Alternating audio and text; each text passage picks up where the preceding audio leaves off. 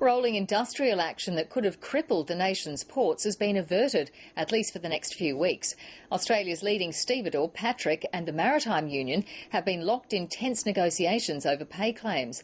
Deborah Rice is at the Fair Work Australia hearing.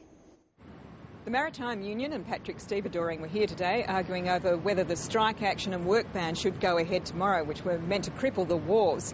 The union is, uh, has a claim in for 6% wage rises over three years and it wants other conditions such as uh, an extra week's annual leave for its workers, uh, a $5,000 sign-on bonus and some other features as well. Patrick says they haven't been negotiating in good faith and that was the grounds on which it was uh, asking for the injunction today. It says they have evidence that it would cost them $150 million and that would be a 35% increase in labour costs each year for three years.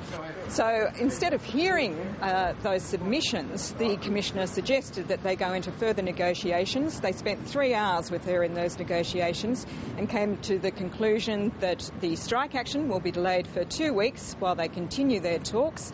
If in that time there's uh, no progress, then the strikes will go ahead.